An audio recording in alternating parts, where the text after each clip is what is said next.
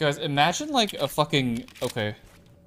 Like a dystopian world where it's uh police force is completely privatized and